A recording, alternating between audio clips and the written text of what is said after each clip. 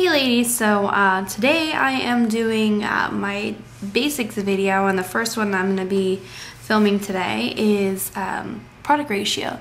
I know some of you ladies have questions about it and um, you may struggle with it a little bit so I will be doing a product ratio video today and kind of just um, laying the acrylic down and picking up product and tips and tricks I've found in myself. So today I'm going to be using just a tip. I'm just using white because um, I've got an abundance of white tips around. So, uh, And then I'm just going to be using some different colors of neon acrylics from Diva DC. Um, now the brands is really up to you what, what type of acrylic system you'd like to use. I prefer DVDC because they're inexpensive and I really like their quality. Um, and I purchase from them fairly often. So uh, the first thing I'm going to, I guess, show you guys is my brush. Um, this is either a 16 or an 18. And this is a round pointed brush. Some of you ladies like the flat. Um, I don't have any that are flat, that are kind of fanned out a little bit, maybe even cut. Um, I would like to try them, but I this is they don't make this one anymore. Sadly, um, I actually picked this up myself, but they actually I can't find this brand again, and I love this brush. It's amazing. Um, but this is just the one that I prefer. Um, this is the type of brush I prefer, um, and really it depends on what you guys would like, uh, what you guys are used to. I've always, for the most part, gone with oval, uh, just because it's easier for me, but that's really up to you.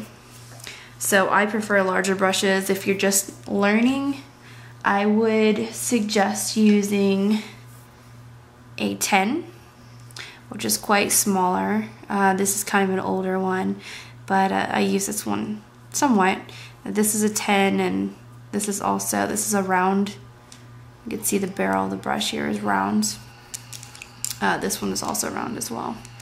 But they're both ovals. But anyway, um, so if you are starting out, I would suggest maybe using a 10 or um, smaller, maybe even an 8 or so just to get started, to get comfortable with picking up the um, the liquid and the powder, but it's really up to you.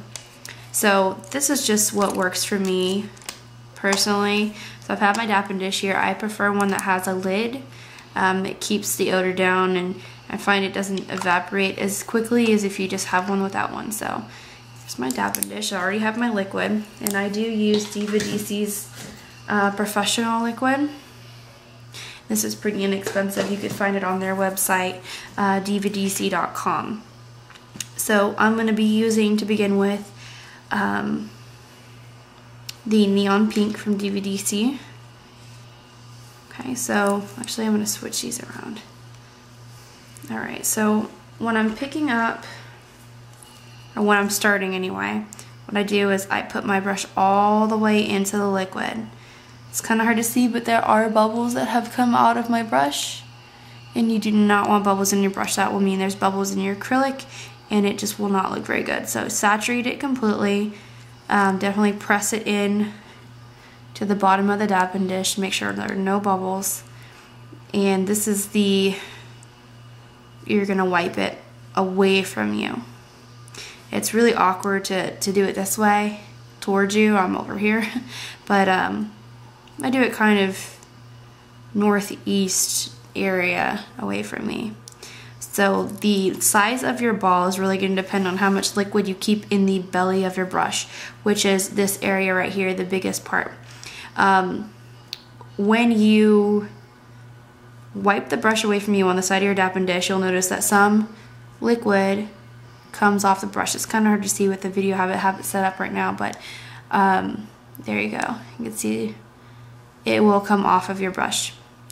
Now this is because you're pushing it towards the bottom um, and it all the liquid is pretty much going to reside in the tip or be closer.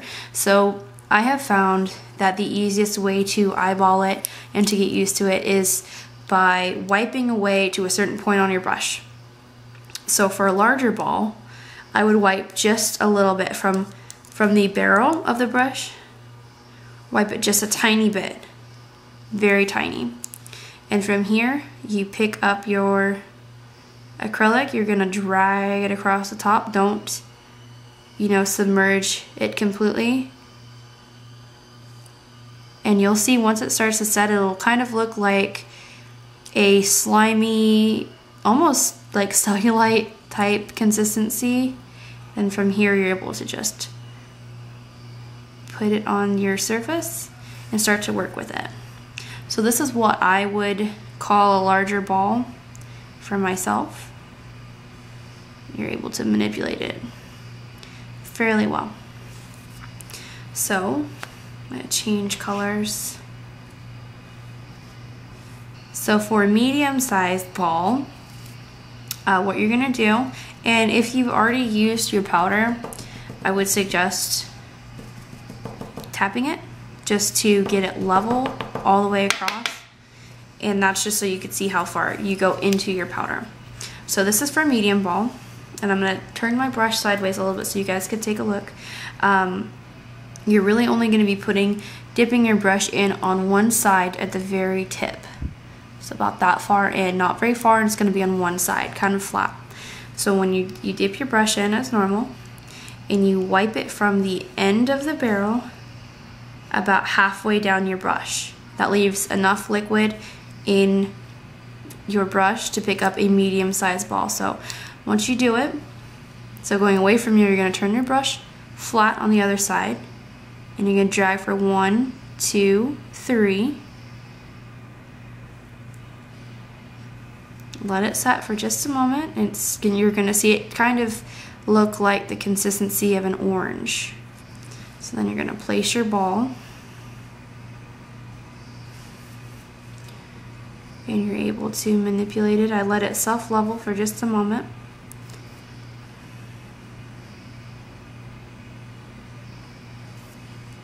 It's very important while you're working to wipe your brush often. This will keep your brush clean and is going to make the application much easier. So as soon as you lay it down, you're going to go ahead and wipe your brush and then wipe it every so often when you're not actually dipping into the liquid or powder. So that's, I, I did make this one a bit flatter. Can't really tell. But uh, that would be a medium-sized ball. For a small one, this is where it gets tricky, especially if you have use a larger brush like I do. Um, go ahead and turn this around. So it's gonna you're gonna follow the same process. You're gonna wipe your brush. Now you wipe your brush almost to the very end, pretty much to the very, very end. Wipe your brush completely, turn it over, drag it for one, two, three. You're gonna see a smaller ball. Once it starts to self-level and turn into kind of a bumpy, shiny consistency, go ahead and place it and you're able to manipulate it.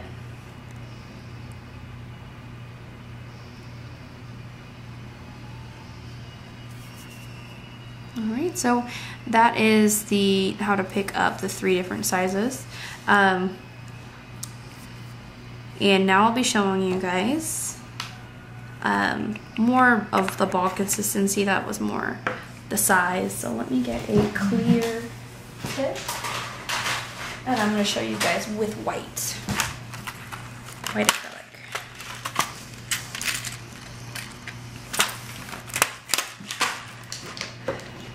Okay, so I'm to use some white. I, I find this white really easy to work with.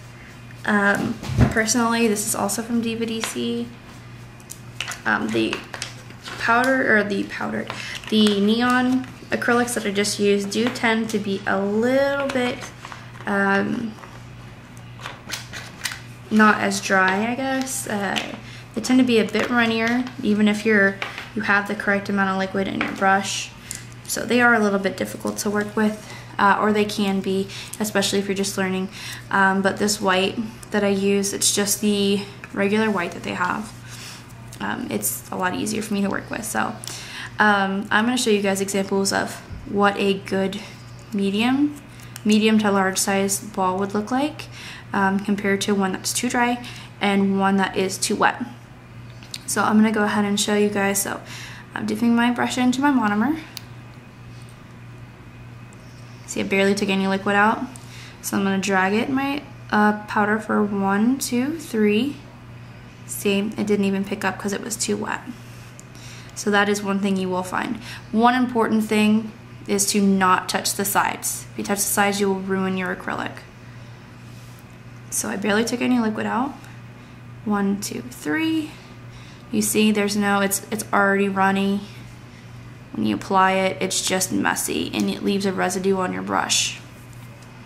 And it's almost impossible to work with. You'll notice it moves and it's too runny. When you try to pat it, it just comes up and it's it's a mess. So that is an example of one that is too wet.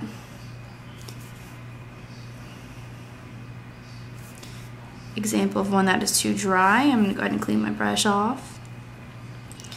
So I'm taking almost all the liquid out of it. Drag for one, two, three. You'll see it's not starting to self-level. It is a very jagged shape. Usually it'll turn into a nice round ball. You try to apply it, it just falls off. Very hard to work with. Once you get it on there, it's already starting to set. It's just not very good to work with. So I'm going to show you a regular type consistency which would be so dip for one, two, three.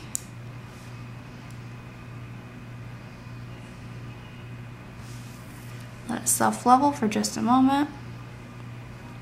And you're able to start patting that into place. Now one tip I did find, if you see that your ball is already too runny, um, if it's too dry, you're pretty much out of luck. You're just gonna have to wipe it off and try again. But uh, one trick I did find is if you do have a ball that is too runny, like this one, what you could do is you could take the rest of the liquid out of the back of your brush by pressing it onto a napkin. This will dry it out just a little bit and it will leave your consistency nice and smooth as if you picked up a regular um, a regular ball and it makes it very easy to work with and it's easy so you don't waste too much um, monomer or powder. And it does help if you do find maybe you're going too fast or um, you know you thought you took more liquid out or maybe you're distracted or what have you. It's you can save it. Same thing goes for 3d acrylic or 3d designs that you're if you want to do 3d um, it's the same type of a, um, a process just pat just press your brush the belly of your brush to the back of um, your napkin with the acrylic on top and it will dry it out slightly so it's easier to work with. Um, I hope that you guys learned something from this video. And if you'd like to see more, please let me know. Um, my next video will be about tips and applying them correctly to the nail bed before application. I'm also going to be doing um, top to bottom, oop, don't look at that hand, a top to bottom type video. I hope you guys will find it uh, informative and hopefully it'll help some of you guys out there. But thank you so much for watching. As always, if you haven't already, please comment, rate, and subscribe if you would. And I'll talk to you ladies next time. Bye.